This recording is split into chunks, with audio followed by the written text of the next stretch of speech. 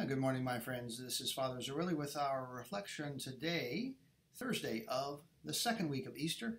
We're reading from the book of Acts of the Apostles, chapter 5 today. When the court officers had brought in the apostles and made them stand before the Sanhedrin, the high priest questioned them. We gave you strict orders, did we not, to stop teaching in that name? Yet you have filled Jerusalem with your teaching and want to bring this man's blood upon us. But Peter and the apostles said in reply, We must obey God rather than men. The God of our ancestors raised Jesus, though you had killed him by hanging him on a tree. God exalted him at his right hand as leader and Savior to grant Israel repentance and forgiveness of sins. We are witnesses of these things, as is the Holy Spirit, whom God has given to those who obey him. When they heard this, they became infuriated and wanted to put them to death. The word of the Lord. Thanks be to God.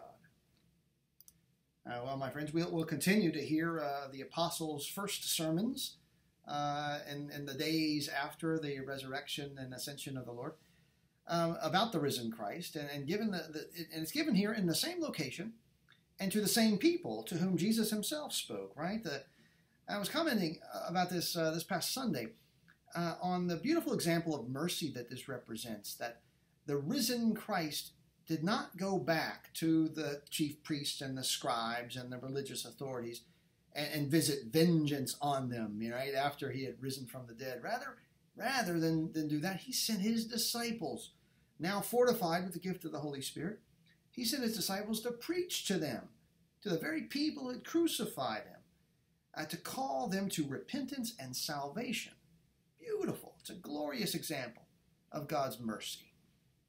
Well, sadly, as we read, the, the disciples met with the same reaction that Jesus did. And uh, just as they had plotted to put Jesus to death, so they were doing the same thing to the disciples. But I love their response uh, to the threats that they received and the, and the orders to stop preaching in the name of Jesus. They said, We must obey God rather than men. And I, I think those words, uh, I think we can all look to those words as applicable in virtually any moral situation. To tattoo those on our brain, right? We must obey God rather than men. That's something to really remember. Well, of course, the apostles would not stop. And indeed, as we'll be reading throughout the Easter season, they pushed out into the world uh, to bring the saving gospel of Christ to the ends of the earth. And they encountered the same resistance and threats and persecutions wherever they went. Uh, nearly all of them were eventually martyred, as we know, but they did not stop. I came across uh, these words uh, from one priest uh, uh, reflection he made recently, uh, reflecting on, on, this very passage of Acts of the Apostles. And he said these words he said, The good news will give hope to many, but for some who have made a covenant with death, the good news will irritate them.